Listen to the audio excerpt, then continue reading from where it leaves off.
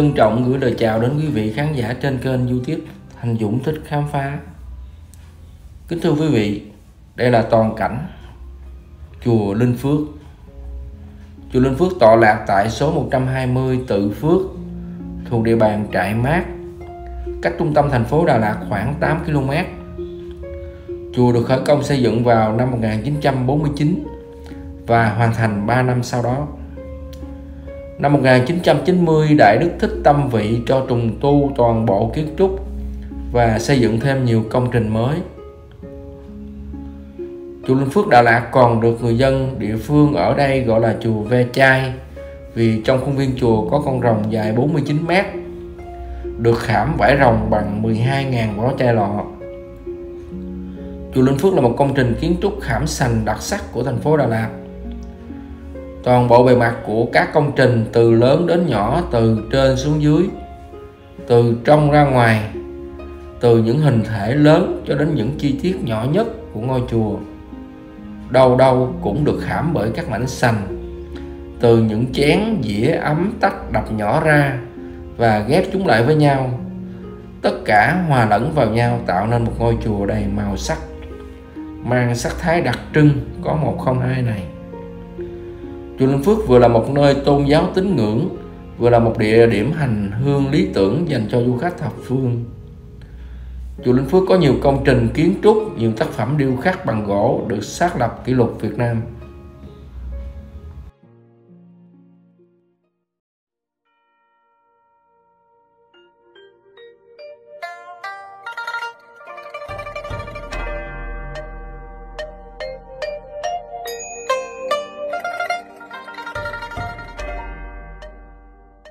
Đây là công trình trung tâm của chùa là tòa chánh điện dài 33 m, rộng 12 m.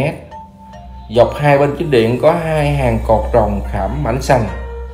Bên trên là nhiều bức phù điêu khảm xanh giới thiệu lịch sử Phật Thích Ca và những điển tích trong kinh Pháp Hoa, kinh A Di Đà.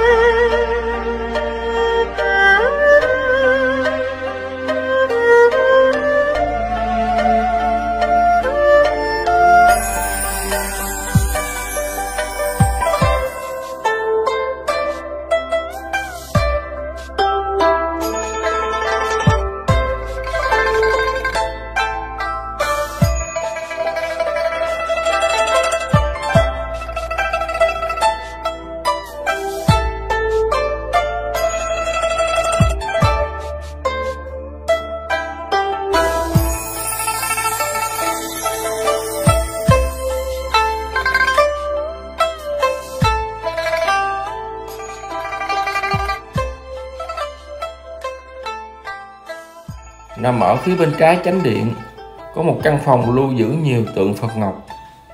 Ngoài ra tại đây và khu vườn thiền, du khách hành hương còn có dịp chiêm ngưỡng nhiều tượng Phật, thiền sư bằng sáp cứng, được các nghệ nhân người Thái tạc tượng. Các tượng này có độ bền hàng thế kỷ. Trong số các tượng sáp tại đây có pho tượng sáp đặc biệt của cố Đại Lão Hòa Thượng Minh Hạ Đức được tạc với giá 300 triệu đồng. Thời gian để hoàn thành pho tượng trong 6 tháng.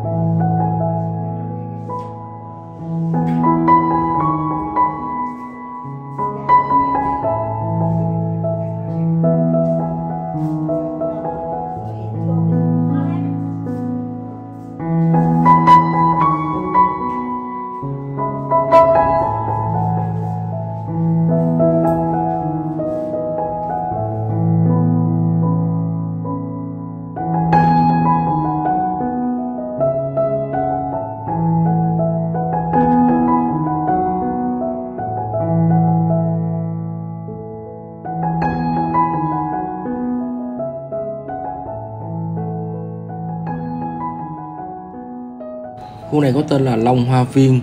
Trong khu này có một tác phẩm rồng dài 49m.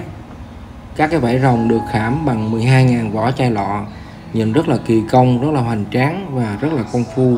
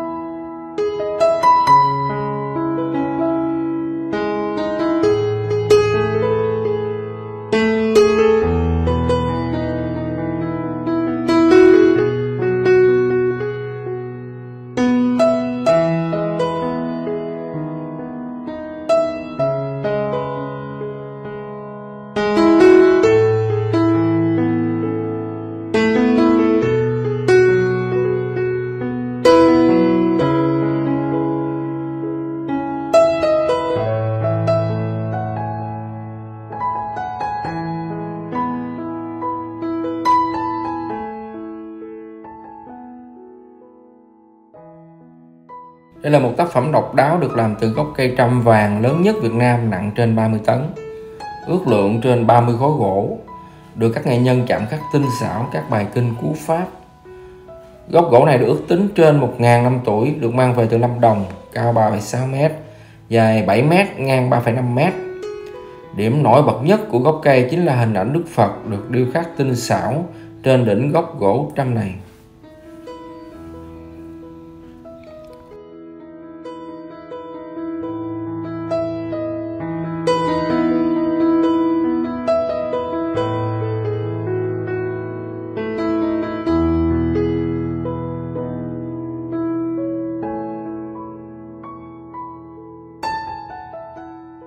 Đây là tác phẩm điêu khắc bằng gốc rễ cây tên là Khổng Tước Vương.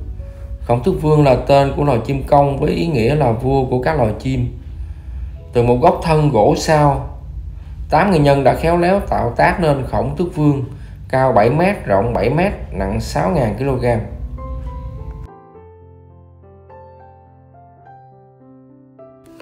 Còn đây là tác phẩm điêu khắc sông Tùng Bách Hạt Tác phẩm điêu khắc gỗ thể hiện cây tùng và chim hạt bằng gỗ sao lớn nhất Việt Nam.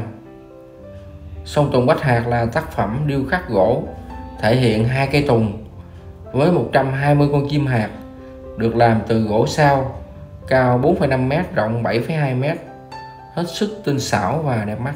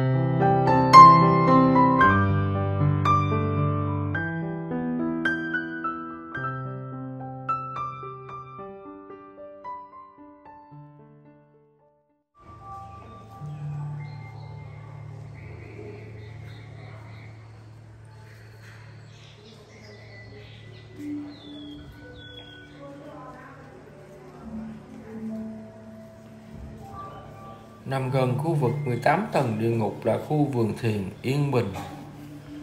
Bước vào đây, quý vị sẽ sống trong không gian tái hiện khu rừng tĩnh lặng. Chỉ có tiếng chim hót, tiếng suối chảy róc rách. Xung quanh khu vườn còn tôn tượng các vị thiền sư bằng sáp rất tinh xảo. Trong tư thế đang ngồi thiền tĩnh tâm. Dạo bước trong khu vườn thiền, quý vị sẽ cảm nhận thân tâm như được gột rửa khỏi những xô bồ trong cuộc sống mưu sinh đời thường.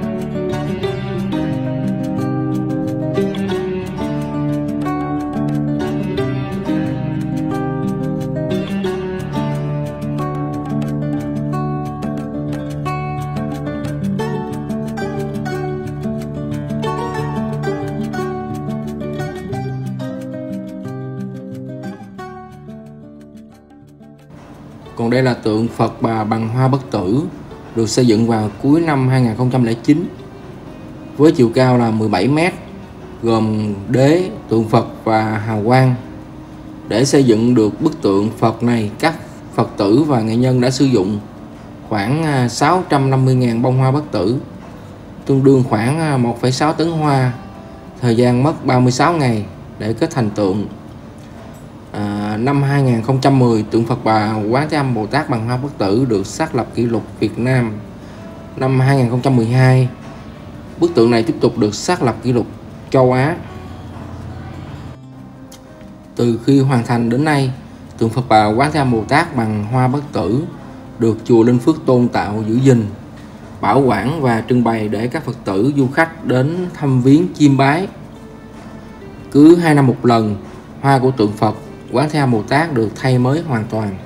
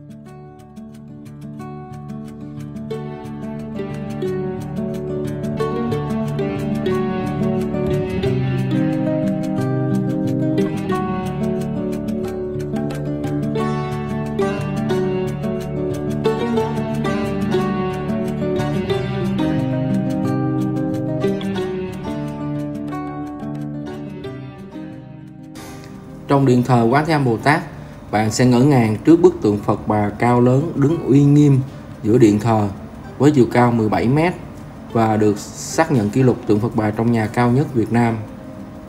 Ngôi điện à, gồm tất cả là 3 tầng, có 324 bức tượng Quán Thế Âm Bồ Tát, mỗi tượng cao đến 3,7 m.